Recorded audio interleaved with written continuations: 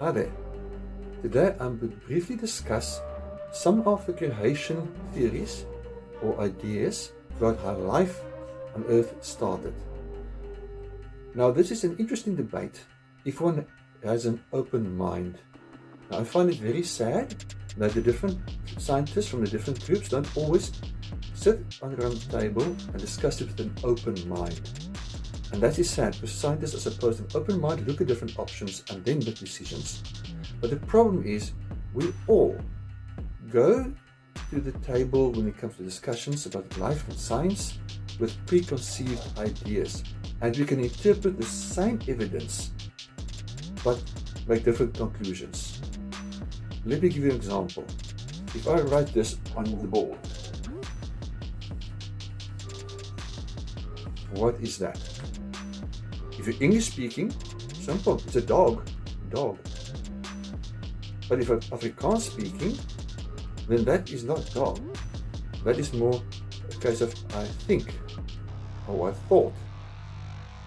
Okay? Same evidence, different interpretation. Because we've got a different different background. And that is one of the problems when it comes to these theories. So let's look at some of the basic theories very briefly. Very briefly.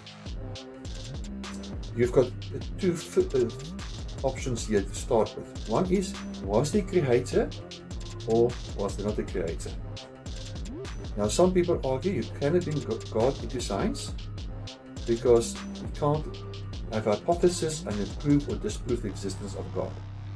Fair, let's take that as an example. But it comes back to the open mind and being fair and unbiased. What about all the theories about multiverses or what goes on inside black holes? We can't test those. We can't have hypotheses to test them. You might say, okay, we just don't have equipment yet. Well, that argument also applies to proving or disproving the existence of the creator. That's my point I'm trying to make here. People are not always open-minded and they're not always unbiased because we come from different backgrounds. The theory that we see most often is obviously evolution. Okay, evolution. Now, even here, you've got some variations to the theory. Okay. Firstly, you could tell group that says there's no creator, it's all an accident. So we call them the atheistic evolutionist. Atheistic evolutionist. There's no creator, it just happened by accident.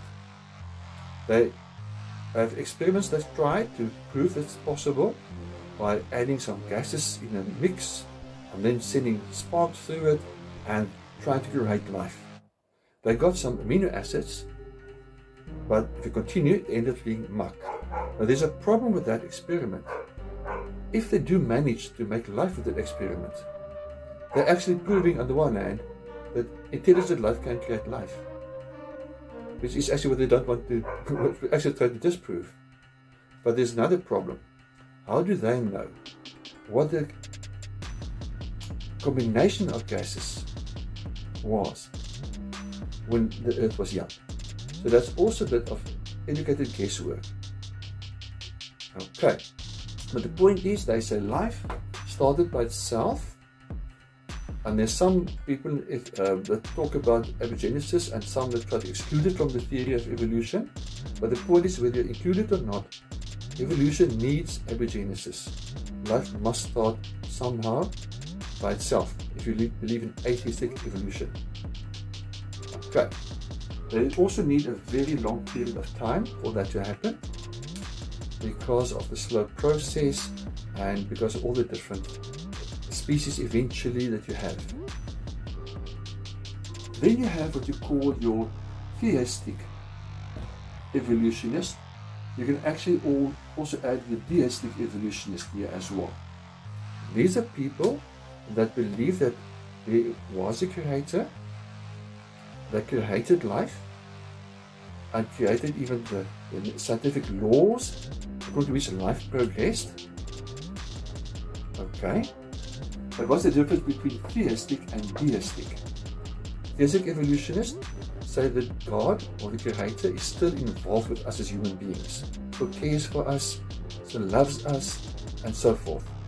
The deistic evolutionist is more case of the creator created, and now he's standing on the side looking at what what's happening, the spectator. Both these also use a long period of time. Also basically believe in this process like this, but they remove the abiogenesis problem by saying there is a creator. Then you also have another group called your intelligent designers.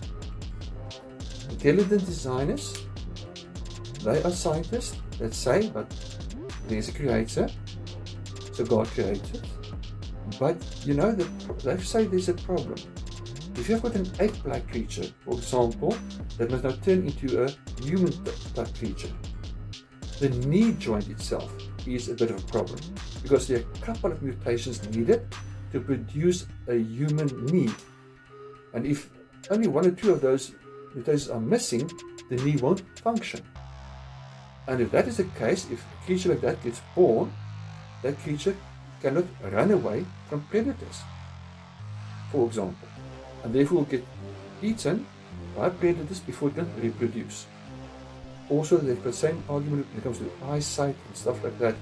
Uh, they call it irreducible complexity. Now, obviously, there are a lot of arguments between the different groups, but they also believe in a long period of time, and they also believe basically in the evolutionary process. Then you get another group, which, uh, is called the gap theorist.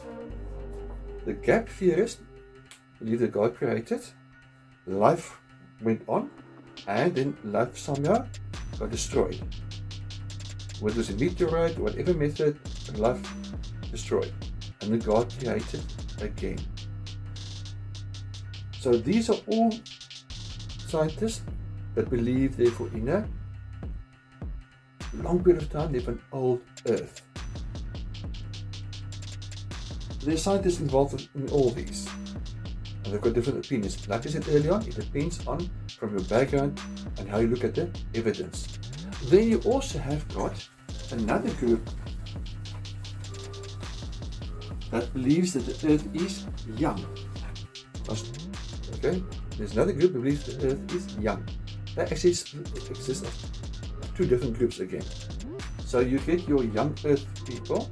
The one group is called the young earth creationists.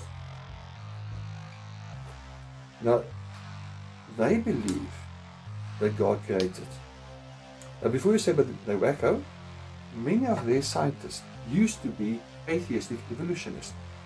But because of the problems they see in the evolution theory, they then concluded, concluded that there must be a creator. Let me give you an example. If you look at dinosaur fossils, you even find soft tissue, like a piece of blood vessel, in some dinosaur tissue. Now, how did that tissue, which is still elastic, they pull it, how did that survive 60 million years as a fossil? Why did it fossilize? Why did it break down? That's just one example. There are other examples as well. I can use one more. You know the transition fossil from dinosaurs to birds, Archaeopteryx. Now, if you look at the age of Archaeopteryx fossils, you'll find they're younger than some bird fossils. Now is it possible that birds, which are supposed to come from Archaeopteryx, actually have older fossils? So that does make sense to them. So they ask questions about the age and all these things as well. And they say, but God created kinds. God created, for example, a cat kind. And from that one cat kind, you got lions, leopards, tigers, cheetahs, etc.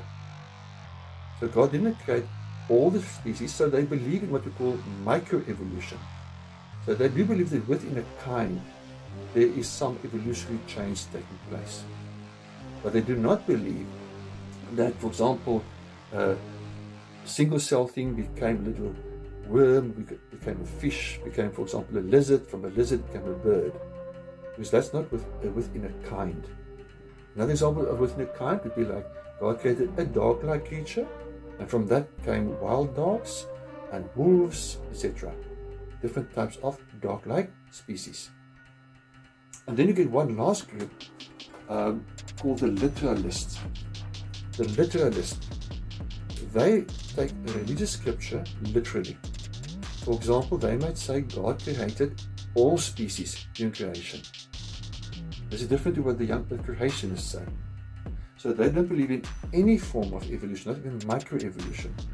So that they don't believe, therefore, that, that God created one cat species and lions, tigers, and leopards and cheetahs came from that. They said God created at the start lions, leopards, tigers, cheetahs, etc. Okay, they also believe in a young earth. There's lots to be more to be said about these different theories. And lots of debate. It's an interesting debate. Just something to look at with an open mind. Thank you for watching.